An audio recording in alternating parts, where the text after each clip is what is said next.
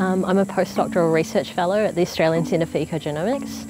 Um, so at ACE we're interested in looking at microbial communities um, in a whole range of different environments including corals, sponges um, and human guts for health reasons and, and for my project I'm interested in looking at um, marsupial fecal samples uh, and the question that we're trying to answer is like what bacteria are found in these communities and how are they able to process like the toxic eucalyptus leaves. Um, being a part of the SAGE pilot of Athena Swan is really important because um, I'd like to encourage other females um, to do science.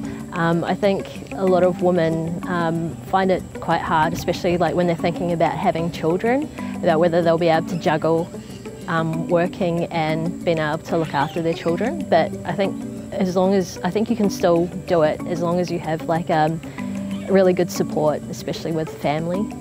So the advice that I'd have for women entering the field would be to follow your passion, do something that you really enjoy and look for a supervisor um, because they'll be there for when the times get rough. Um, and also just take every opportunity that comes to you because you don't know where it will lead you.